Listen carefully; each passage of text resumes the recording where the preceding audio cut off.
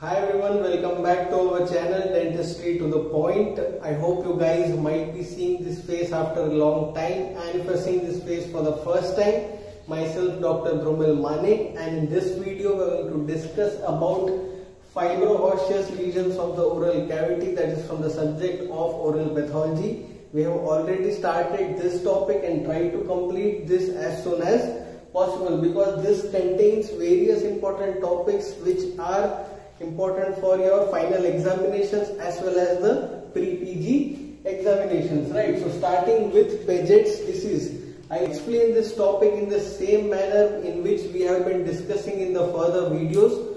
So I would like to request you to hold back and watch full video so that you can get a thorough knowledge about the topic and various images are also going to be popped out so that you can watch and relate this disorder which will help you in easy remembrance of this topic right so starting with Paget's disease Paget's disease is also known as osteitis deformans क्या कहेंगे इसको osteitis deformans मतलब now let's split this term ostei मतलब something which is related to bone or osteoitis itis stands for inflammation i hope you guys have studied this in second year pathology and deformans that means something which is deformed. Matlab inflammatory disease or inflammatory condition which is causing some deformation in the bone right? Or Paget's disease also you can say. This was named Paget's disease because it was discovered after uh, by Sir James Paget and it was named as Paget's disease. He was the first one who found out this condition in some cases इसमें mainly क्या होगा what will be the main foundation of Paget's disease that is increase abnormal remodelling of what bone की abnormal remodelling increase हो जाएगी which will be mainly seen in middle age and elderly age people so right now for you introduction Paget's this is also known as osteitis deformans named after sir James Paget which causes increased and abnormal remodeling of bone mainly seen in middle aged and elderly aged people. Itna clear and next moving on to the various etiological factors. So the etiological factors for Paget's disease are going to be different. Firstly, initially no exact etiology for this is found but we have some factors which have shown some relation with the cases of Paget's disease it is said that it can be genetically transferred so the relatives of the patients of Paget's disease also have been found with this condition. Next is viral infection. This is mainly autosomal dominant as it is apparently seen. Next it is of viral infection also. Some viral factors are also influencing and causing Paget's disease. Third is inflammatory cause. As I said, some inflammatory condition which is causing deformation in bone next is autoimmune connective tissue and vascular disorders क्या क्या है autoimmune connective tissue and vascular disorders are also considered to be some of the etiological factors right next now understanding the definition of Paget's disease it is enhanced resorption of bone by multinucleated osteoclasts you guys know that osteoclasts are the cell which causes resorption of bone. So there will be enhanced matlab there will be resorption of bone by multinucleated osteoclast and in turn after some time there will be formation of disorganized woven bone. The bone will not be organized, it is going to be disorganized and which type of bone will be formed? Woven bone will be formed out. So depending or seeing this definition we can say that it is going to have three stages. कौन कौन से रहेंगे first will be osteolytic मतलब जिसमें bone का resorption हो रहा है। Second is mixed stage in which there are some part of lytic that means कहाँ कहाँ रिजॉर्प्शन हुआ and some places there is deposition of bone and thirdly it is osteoblastic जिसमें purely there is bone deposition it can be also called as cotton wool appearance और in this you can call it as osteoporosis circumscripta right? So osteoporosis matlab there is resorption of bone in a circumscribed manner. So three stages of Paget's osteolytic stage, mixed stage, and osteoblastic stage. Next we will discuss about the clinical features, then laboratory findings, radiological features, and treatment of Paget's disease. So next moving on to the clinical features of Paget's disease as we all know we are going to start with the most common age, sex and site. Most common age group which is affected by Paget's disease is the elderly one, elderly one or the middle age group of people, right? 50 years is considered to be an average age around which most of the patients are seen. The prevalence goes on decreasing as the age increases at the ninth decade and very few patients are found at younger ages of 20 to 30 years.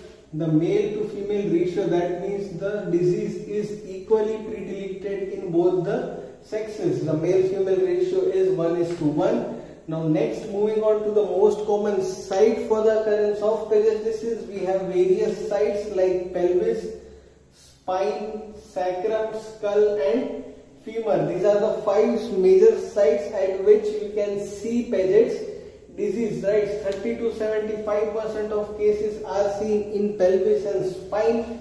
30 to 60 in sacrum, 25 to 65 in skull and lastly long bones are also affected like femur which is showing 20 to 35 percent of cases. So this was all about the most common age, sex and site. You just need to remember elderly group of people and these signs right you can start from skull then you can go to spine then you can go to pelvis femur and sacrum right now most common clinical features mostly the patient is going to complain of dull aching pain he will experience a dull aching pain just beneath the soft tissue at the area which is affected which may increase in night the pain might increase in night so first point kya hai dull aching pain hoga patient ko there will be increased vascularity in the bone which will in turn cause the bone to become a little bit warm, right? So warm bones that is due to increased vascularity. Now as we all know there is resorption of the bone so that is going to make the bone a little bit weaker which can cause the pathological fracture of the bone along with that there will also be compression of the nerves of the skull or the optic nerve or the nerve used for hearing right so there will be non-specific headache impaired hearing. The patient is going to have hearing problem tinnitus and vision changes. As i said there is going to be compression of three nerves mainly the spinal nerve or the the nerve which is supplying the spinal cord. We have optic nerve and the nerve for hearing. There will also be change in the hat size of the hat the patient is going to wear if the patient is wearing hat due to increased woven bone or growth bone remodeling there will be change in the size of the head or sometimes if the patient is an edentulous patient right? He is wearing dentures then he may also complain of tightening of denture. I'll explain about this in the further part that is of oral manifestations. Next platybasia now what is the meaning of this word platybasia the base of the skull is going to become soft due to resorption which will cause descend, descendants of the base of the skull. The base of the skull is going to descend downwards which will lead to progressive pain, paresthesias, limb paralysis, bowel and bladder incontinence. Platybasia का मतलब क्या है? There is softened bone at the base of the skull which will result in the descendants of base of the skull. Along with that you have various other features like nausea, dizziness, syncope, ataxia and dementia which can be mainly seen in people with basilar invagination. Now what is the meaning of basilar invagination? Whenever the second cervical vertebrae that is the top part of second cervical vertebrae is going to move up. So there will be invagination in the basilar part of the skull right. So basilar invagination which may compress the spinal the nerves which is going to supply the spinal cord. Along with that, in the cases of cerebellar and brainstem compression syndrome. So three conditions we have. First is basilar invagination.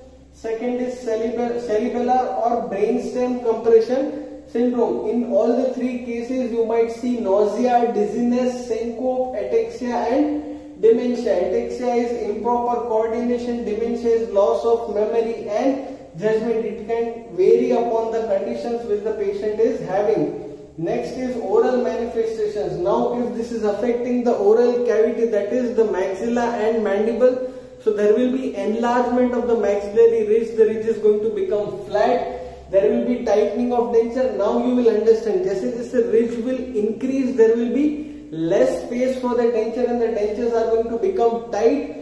So the most common complaint what it will be tightening of dentures. This can also be asked in your NEET examination that tightening of denture is the most common complaint in which of the following disease. The mandible also there are going to be the same problems, right? Now if the patient is having teeth and the size of maxilla or mandible keeps on increasing, there will be spacing between the teeth and the jaw or the maxilla or mandible is going to enlarge. In the severe cases of this disease, the oral manifestations mainly I am talking, the mouth is going to remain open because the size of maxilla is going to increase excessively and the lips are short to cover that entire part of the enlarged bone. So this is all about the clinical features. We'll revise it quickly. The main main highlighting points. Age, section site, elderly group of people, site you need to remember. Next is dull aching pain. Then you have pathological fracture, increased vascularity. This you need to remember platybasia and waddling gait, right? Waddling gait is also being seen. I'll add a video, short video of waddling gait. Please watch it. Then progressive pain, paresthesias, lymphasis, this is all is common. Next, three things, basilar invagination, cerebellar or brainstem compression syndrome and lastly oral manifestation in which you will have tightening of dentures and increase in head size if the patient is wearing hat that is increasing the size of the skull right?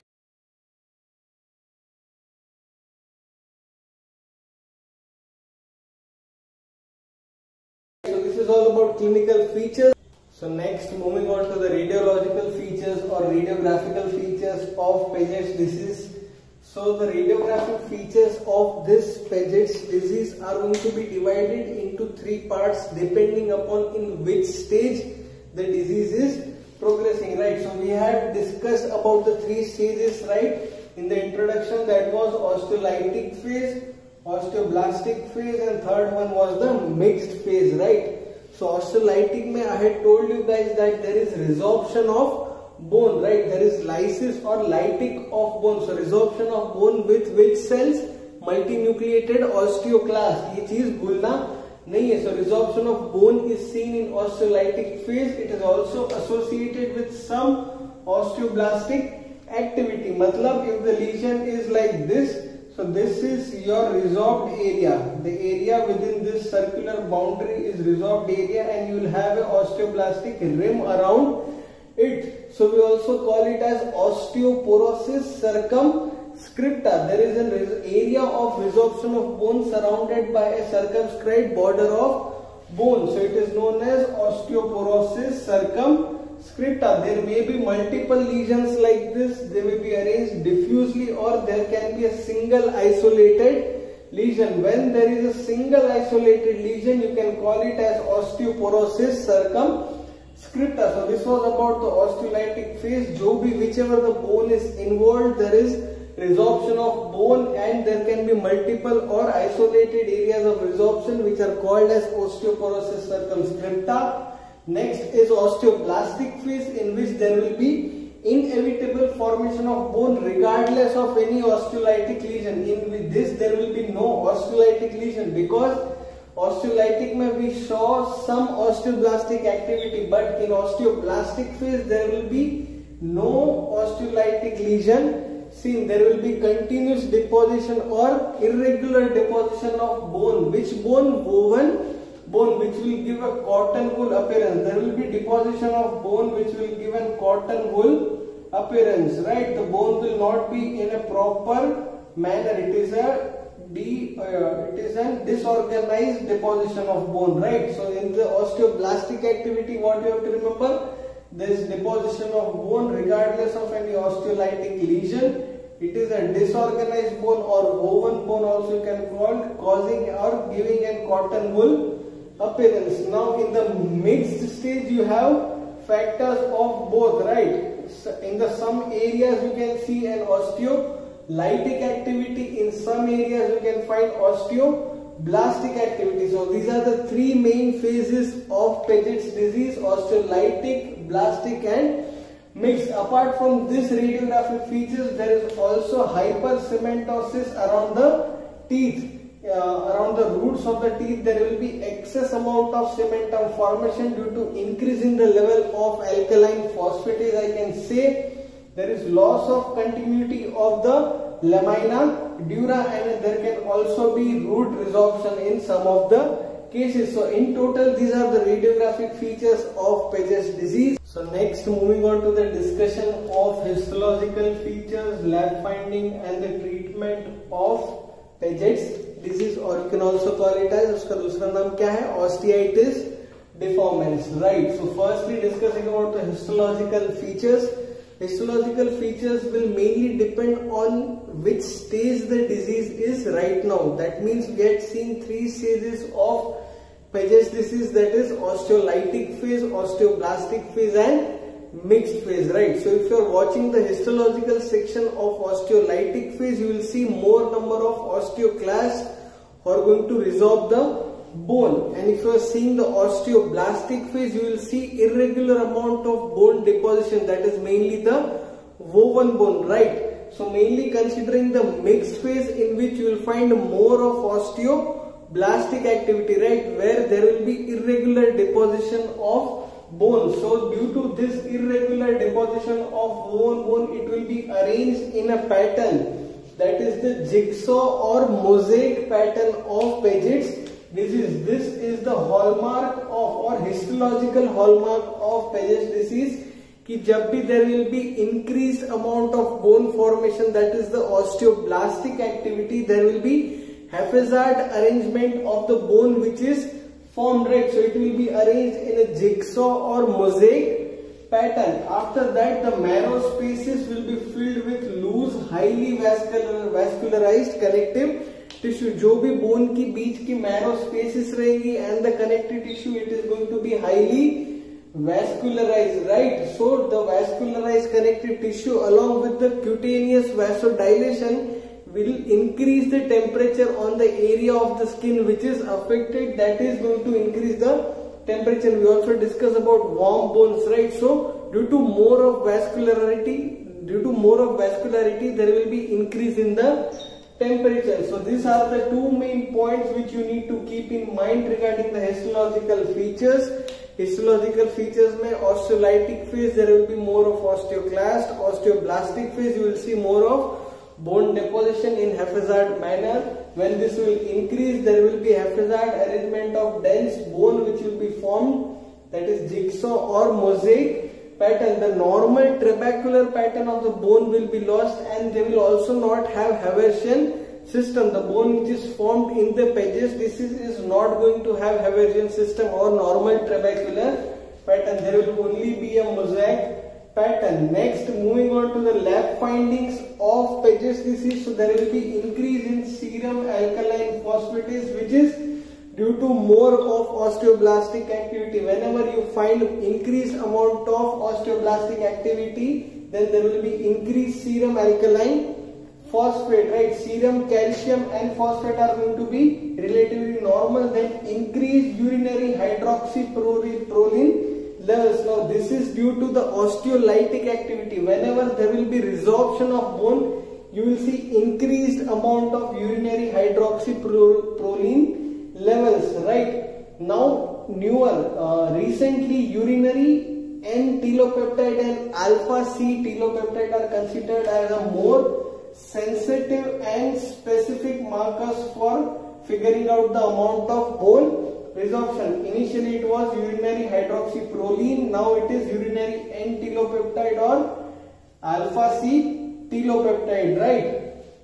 So these are the lab findings which are important regarding Paget's disease, mainly the lytic or blastic findings, right? So alkaline phosphatase or this urinary hydroxyproline or telopeptide factors, right? Treatment, if we see there is no exact treatment of Paget's disease, the treatment and the prognosis is going to be good if more changes have not yet occurred in the skeletal part, right? Uh, calcitonin was administered which is considered to be an antagonist of parathormone which causes resorption of the bone right? So calcitonin has shown some nice results regarding the treatment of Paget's disease. Bisphosphonates have also been tried and recently mithramycin which is a cytotoxic antibiotic that has also been shown a good result right? So these are the three main treatment methods.